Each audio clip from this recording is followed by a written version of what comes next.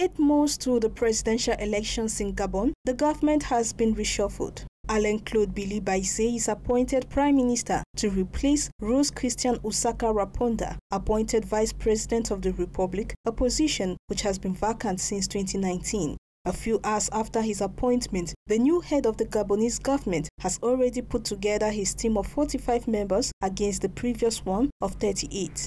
Though some changes have been made, some personalities from the previous one are still present, in particular the Minister of Interior, who is a key actor in the organization of elections in Gabon for more than two decades. Also, the Ministers of Budget, Economy and Oil remains unchanged.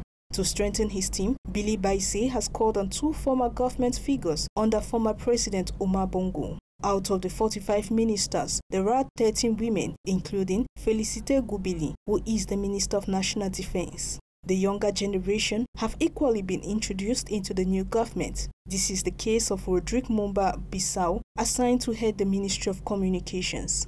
Alain Claude By Nze, aged 55, is one of the main ally of former President Omar Bongo Ondimba since 2006. He has held several ministerial portfolios, including the post of Deputy Prime Minister. On her part, Rose Christine Ossouka Raponda, 59 years of age, was the former mayor of Libreville and Minister of Defense. Her appointment as vice president makes her the first woman to occupy the position. Her task is to assist the head of state and has no interim role in the event of a power vacuum.